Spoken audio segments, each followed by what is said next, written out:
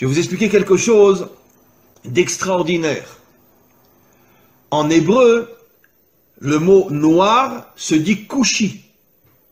Alors bien sûr, vous ne connaissez pas l'hébreu, mais faites-moi confiance. Le mot kushi s'écrit en hébreu kaf vav shin yud. Kaf vav, vous savez qu'en hébreu, chaque lettre a une valeur numérique, ce qui nous permet de pouvoir faire des correspondances entre des mots différents s'ils ont la même valeur numérique. C'est un des génies de l'hébreu de pouvoir expliquer le sens d'un mot par rapport à un autre mot qui a la même valeur numérique. Alors, les deux premières lettres du mot kushi, qui veut dire noir en hébreu, c'est kaf vav, qui a pour valeur numérique 26. 26 est la valeur numérique du nom de Dieu. Le nom de Dieu tel qu'il ne se prononce pas, parce qu'on attend la délivrance pour le prononcer véritablement, c'est un Yud, un Vav, un Yud, un He, un Vav et un He. Et ce nom de Dieu qui figure dans toute la Torah en hébreu a pour valeur numérique 26. Après, vous avez Kou, donc Kaf Vav, le nom de Dieu, le véritable nom de Dieu, le véritable nom de Dieu dans le mot, dans le mot donc qui fait allusion aux, Africains, aux Noirs. Et après, vous avez Shin Yud, qui veut dire Yesh. Ça veut dire que Kushi signifie Yesh Hashem, il y a Dieu. Ça veut dire que dans l'Africain se trouve Dieu.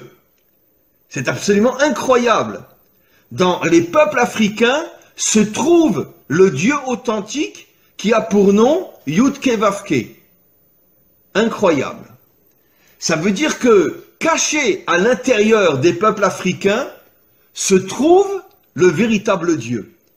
Et c'est pour ça que en hébreu, on appelle le noir Kushi, qui fait allusion à Yesh Avaye, Dieu se trouve à l'intérieur des peuples africains.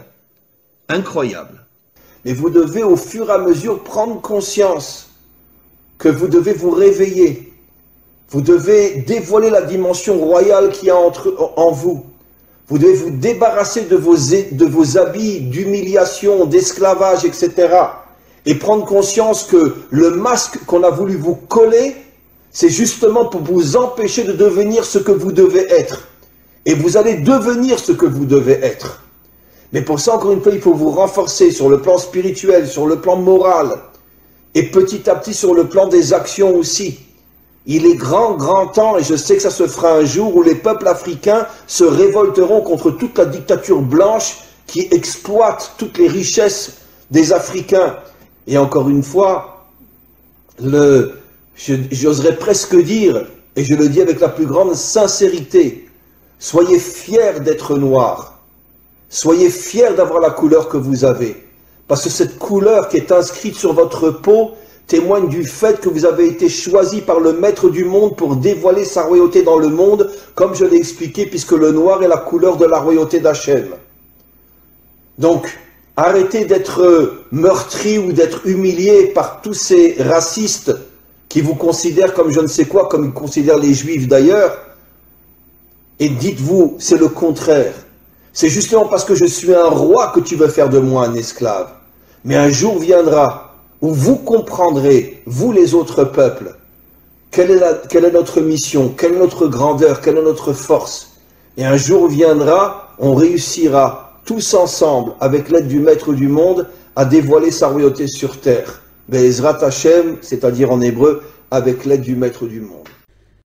Les plus grandes guerres, les plus grands massacres, dans toute l'histoire humaine, c'est le monde occidental pas le monde occidental uniquement moderne, bien que le monde occidental moderne, entre la Première Guerre mondiale et la, Deuxième Guerre mondiale, sont morts 70 millions de personnes. En 40 ans, 70 millions. Pas en 40 ans de guerre, mais il y a eu la Première Guerre mondiale qui a duré 4 ans, la Deuxième Guerre mondiale qui a duré 4-5 ans. Entre les deux, il y a eu à peu près 20 ans, donc en 30 ans, 70 millions de morts en deux guerres qui, à elles deux, ont duré 8-9 euh, ans.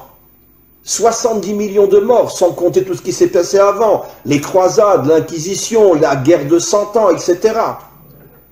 Donc ce sont vraiment des, gens qui, vivent, comme, on, l'a vu précisément dans la paracha de la semaine dernière, Yitzhak, quand il baignait Esav, il lui dit, tu vivras, ah, tu vivras, Bechar tu vivras avec ton épée à la main. L'Occident, c'est un peuple guerrier. D'ailleurs, j'expliquerai ce soir dans un autre cours qui sera aussi sur mon site, qu'en vérité, c'est la raison pour laquelle le monde occidental a adopté la religion chrétienne qui ne parle que d'amour et de bonté pour se créer une vitrine et cacher son véritable caractère. Parce que justement, le monde occidental est tellement, tellement, tellement violent, il est tellement assassin et meurtrier, qu'ils ont eu besoin de se créer une religion qui va nous faire croire tout le contraire de ce qu'ils sont véritablement sur le terrain. Bien sûr, je ne parle pas de tel ou tel ou tel citoyen, je parle des dirigeants et je parle malheureusement des peuples qui sont exploités et qui sont soumis et qui sont obligés de suivre leurs dirigeants. Mais quoi qu'il en soit, le monde occidental s'est attaqué comme jamais personne au peuple noir, parce qu'il semblerait que dans le subconscient ou même dans le conscient des dirigeants occidentaux, ils savaient que le peuple noir avait une mission qui allait mettre fin à toutes les dictatures et à tout le mal qu'il y a dans le monde, à toute cette corruption qu'il y a dans le monde, et c'est la raison pour laquelle ils ont tout fait pour les transformer en esclaves. Comme l'expliquent nos maîtres, quand tu veux savoir quelle est la mission d'un homme, regarde le mal qu'on lui fait. Si un homme est transformé en esclave, ça veut dire qu'il a une nature de roi. Et pourquoi on le transforme en esclave Pour l'éloigner au maximum de sa mission d'être un roi, ou de dévoiler la royauté d'Hachem.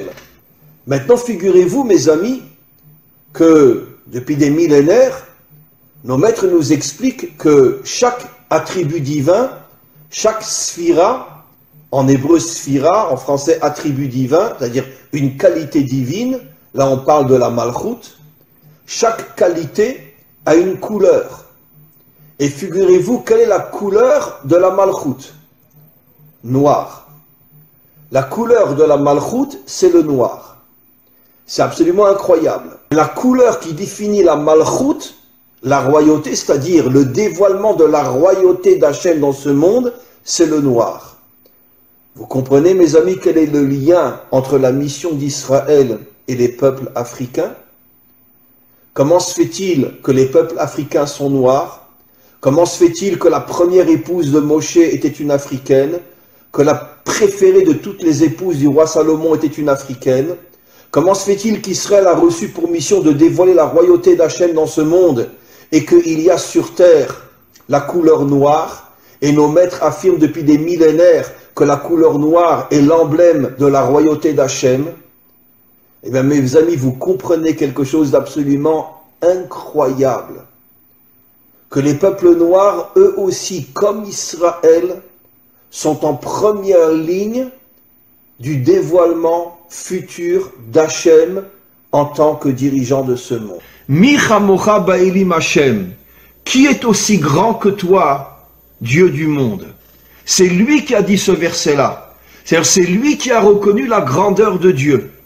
Et nos maîtres nous disent que cela fait allusion à la délivrance finale où toutes les nations reviendront vers Dieu et diront qui est puissant comme toi, maître du monde? Mais moi, ce que je rajoute, c'est qui a dit ça? Qui est le modèle de la délivrance finale au niveau des nations? C'est Pharaon. Et nos maîtres nous disent Pharaon était un Africain, un Noir.